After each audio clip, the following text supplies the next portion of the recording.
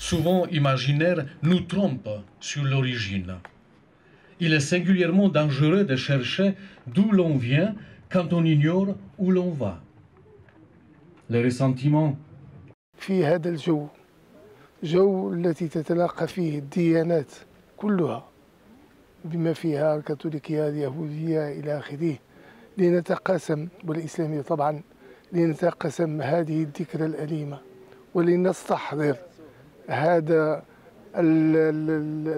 الشيء الذي وقع لمدينة أكادير وسكان مدينة أكادير وما تواجدنا هنا اليوم إلا تعبير عن آه، أن ندعو لهم بالرحمة والمغفرة من من ماتوا ومن من جرحوا إلى آخره في هذه المآسي التي شهدتها مدينة أكادير والتعبير التعبير جميل جدا أن يتواجد بين أظهرنا ديانات مختلفة.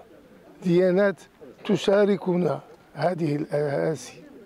إذا ندعو لهم جميعا بالرحمة بالرحمة والمغفرة وإنا لله وإنا إليه راجعون. آه الوليد هو كان في الزنزال ديال أكادير كان عنده 20 عام وهو كان مشى السينما مع واحد الصديق ديالو ومن خرج تمشى باش يمشي للدار ديالو وبدا الزنزال وهو حبس. آه الفوق ديال ال camping اللي كاين هاد الساعة. وملي وصل للدار ديالو في الليل مع 5 ولا 6 ديال الصباح آه الدار ديالو طاحت كلها وشي دار كبيره حداها طاحت واذا العائلة الفاميليا ديالو كلها توفت. آه باه اماه جوج ديال خواتاتو وخمسه ديال ديال خوه donc هو بقى بوحدو. donc آه الوقت كانت صعيبة معلوم. ومن هذا النهار قال أنا ما غنمشي من أكادير.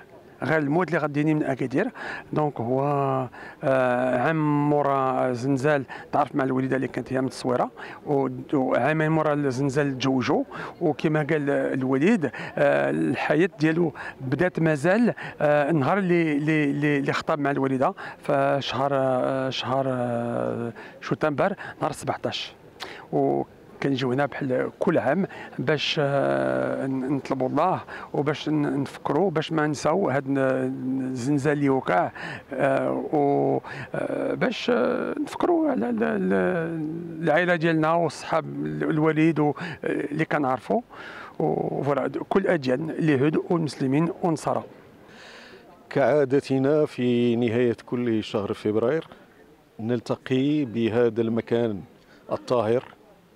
حيث المقابر ثلاث للديانات السماوية ثلاث ولنقوم بطقس روحي دعائي لأرواح شهدائنا في زلزال 1960 ثم أيضا هي فرصة للقاء بين قدماء مدينة أكادير وطرح بعض القضايا التي لها علاقة بالتعمير بالزلزال. وبهذه المناسبة نترحم على أرواح شهداء زلزال سوريا وتركيا. إنا لله وإنا إليه راجعون. ما وقع ما وقع. كان الناس فيه سواء. كما كانوا في حالات السراء وفي حالة الفرح كانوا أيضا يدا واحدة في حالة الضراء وهذا هو المطلوب دائما. فإذا كان هذا أصلا متأصلا في بلدنا فيجب أن يبقى. هذه الأخلاق الفاضلة التي هي من أخلاق ديننا ولا تخالف أعرافنا بل أعرافنا تتوافق تماما مع هذه المبادئ الدينية التي هي من صميم أخلاق الإسلام ومن صميم أخلاق المسلمين عموما. لأن الأخلاق